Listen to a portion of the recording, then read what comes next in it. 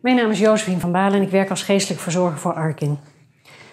Uh, voor deze thuisbuisaflevering doe ik deel 3 uh, van een sprookje. En uh, vandaag hebben we het sprookje van Hans Welgemoed. Dat is een sprookje van de gebroeders Grimm. Um, en Hans Welgemoed heet dan in het Duits Hans im Glück. Nou, of, hij gelukkig is, dat gaan we zo bekijken. Uh, dit is dus het derde deel. Het eerste sprookje wat ik heb voorgelezen um, was Tom die een koe ging ruilen op de markt. Een goede ruil heet het sprookje. Uiteindelijk komt hij thuis met een zak paardenvijgen. Maar het loopt waarschijnlijk dan nog goed af, omdat hij uh, daar goudstukken mee wint. In het tweede deel uh, heb ik het sprookje voorgelezen uit de wereldliteratuur. Even kijken. Hoe een boer zijn koe aan de heilige Antonius van Padua verkoopt. En uiteindelijk uh, zijn twee gezinnen gelukkig met die verkoop van die koe aan de heilige. En nu in het derde deel dus uh, het sprookje van Hans uh, Welgemoed. Het is een korter sprookje dan deel 1 en 2. Het sprookje van Hans Welgemoed. Als loon voor zeven jaar werken krijgt Hans een brok goud. En wanneer hij onderweg een ruiter ziet, spreekt hij hem aan. Ja, beste meneer Ruiter, wij zijn er erger aan toe dan u. Bij u zit mijn hoogtepaard en wij zijn te voet. Ik heb van mijn levensdagen nog niet op een paard gezeten. Zowaar ik leef, paardrijden moet wel verrukkelijk zijn. Ja, beste jongen, sprak de ruiter, laten we ruilen. Geef mij dat stuk goud en neem jij het paard.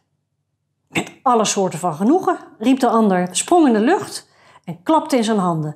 En het scheelde niet veel of hij was paard en ruiter om de hals gevallen. Dolgelukkig gingen de reizigers uit elkaar. Hans ruilt uiteindelijk het paard voor een koe, de koe voor een varken en dat weer voor een gans. En elke keer is Hans blij met zijn schijnbaar goede ruil. Ten slotte ruilt hij de gans voor drie slijpstenen die de scharenslijper hem geeft. En wanneer hij onderweg dorst krijgt, legt hij de steen op de rand van de put. En ze vallen in het water. En wat deed Hans? Hij knielde neer, bijna in tranen, en dankte God dat hij hem ook die weldaad nog had bewezen, die nog als enige aan zijn geluk ontbrak. Zo waar God boven mij leeft, tot vandaag heeft er waarschijnlijk geen gelukkige mens geleefd als ik. En met deze woorden slenterde hij zonder de zware stenen, goedsmoeds en met nieuwe kracht naar huis. In al die sprookjes die, we tot nu toe, uh, die ik tot nu toe heb gelezen, uh, ja, sta je een beetje te kijken van de ruil die uh, wordt gedaan.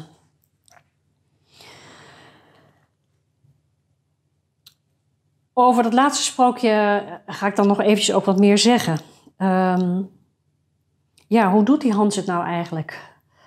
Goud alleen kan een mens niet gelukkig maken. Dus die goudstaaf, dat staat dan voor rijkdom en bezit. Maar wie veel bezit, wordt er ook gemakkelijk slaaf van. Hans ruilt het goud voor een paard en dat is dan weer een beeld van kracht, van zelfbewustzijn en succes. Maar ook dat vervult de mens alleen in het begin met vreugde.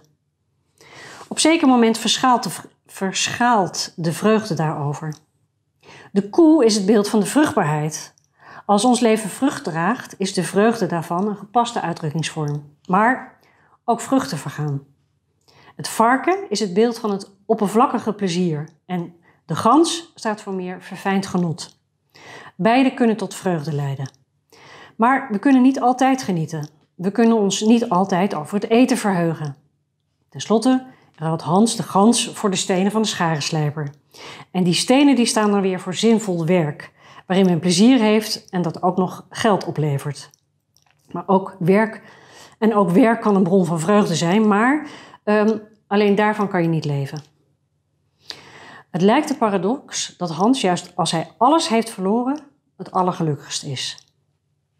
Wat is daar nou de oorzaak van? En dat is, wordt dan wel gezegd, hè, dat Hans helemaal vrij is. Niets drukt nog op hem. Hij leeft helemaal in het heden. Nou is het eigenlijk met al die uh, drie sprookjes zo dat achter het domme gedrag een leerproces staat dat de lezer er met humor toe wil brengen, of de toehoorder, het ware geluk en de blijvende vreugde te vinden. Ik vind dat nog best een ingewikkelde levensles. Ik houd er zelf eigenlijk op dat uh, je van iets onverwachts heel blij kunt worden. Je hebt het niet kunnen bedenken.